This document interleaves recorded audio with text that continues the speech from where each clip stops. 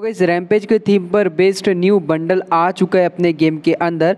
और गैस यहाँ पर आप लोग देख सकते हो ये वाला जो बंडल है, आप लोग को फेडेड विल में देखने को मिल जाएगा आज रात बारह बजे, ठीक है? अभी यहाँ पर साढ़े नौ बज रहे हैं एंड यहाँ पर मैं वीडियो बना रहा हूँ। मेरे पास इस वाली आईडी में अठारह सौ करीब डायमंड थे तो हम लोगों ने सोचा क्यों ना वीडियो ही बना ले। तो गैस यहाँ पर आज के इस वीडियो के अंदर हम लोग देखेंगे कि ये वाला बंडल हम लोग को कितने डायमंड में निकल सकता है।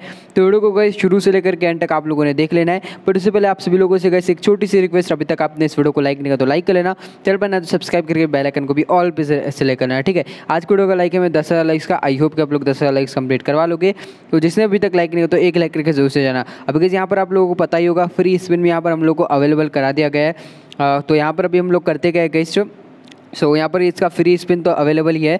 यहाँ पर ये वाला बंडल का काफ़ी सही बंडल होने वाला है। रैमपेज के थीम पर बेस है ठीक है? आप लोगों को देखने को मिल जाएगा। अब यहाँ पर हम लोग एक स्पिन की ट्रिक देख लेते हैं। अगर कोई एक स्पिन की ट्रिक हम लोग को देखने को मिल जाती है तो हम हम लोग यहाँ पर मतलब कि एक स्पिन की ट्रिक ट्राई करेंगे ठीक है?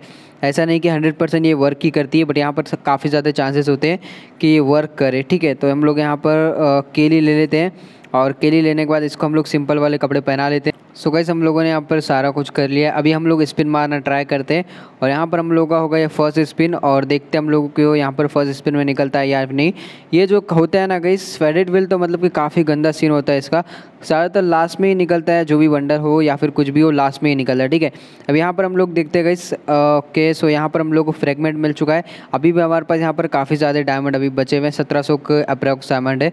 और यहाँ पर हम लोग को पैराशूट का एक स्किन मिल चुका है। अभी भी यहाँ पर हम लोग को नाइन्टी नाइन डायमंड का एक स्पिन करना है। देखते हैं यहाँ पर इस बार हम लोगों का बंडल निकलता है यानी एम फोर की स्किन निकली है। और अभी चार चीज़ें बचे हुए जो कि यहाँ पर सर्वो टेक है।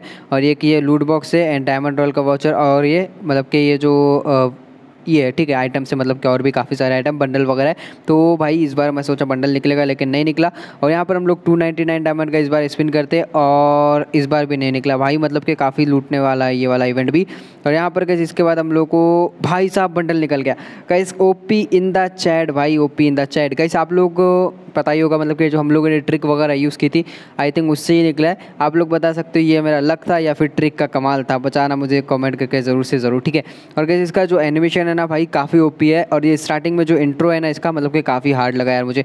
आप लोग इस कैसा लगा ये मुझे बता सकते हो, ठीक है? यहाँ पर देखो इस ये वाला जो बंडल है, ये वाला रहा और यहाँ पर हम लोग इसे ओपन कर लेते हैं एंड ओपन करने के बाद ये वाला बंडल आपको को देखने को मिल जाएगा एंड इसे हम लोग ओके कर लेते हैं और यहाँ पर हम लोग इक्विप भी कर लेते हैं फीमेल से मेल कैरेक्टर लेकर इसको हम लोग इक्विप कर लेते हैं और यहाँ पर ये जो वॉल्ट में दिया है और भाई साहब आप लोग देख लो गाइस आप लोगों को भाई साहब इसके पीछे से जो मतलब के जो टाइगर वाला सीन है ना भाई काफ़ी हार्ड है। एक और बार बताता हूँ, देखो गाइस ये देखो, जो टाइगर पीछे से ये कर रहा है ना भाई साहब, काफ़ी ख़ास बनाता है ये वाले बंडल को। ये इसका एनिमेशन ठीक है?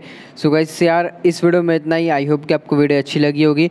अगर अच्छी लगी हो तो लाइक करके चैनल को सब्सक्राइब कर लेना। और यहाँ पर मेरे 600 डायमंड लगभग बच चुके हैं इस वाले इवेंट के अंदर से। तो बस इस वीडियो में इतना ही। मिलता हूँ मैं आपसे को एक और न्यू वीडियो में। तब तक के लिए bye bye and take care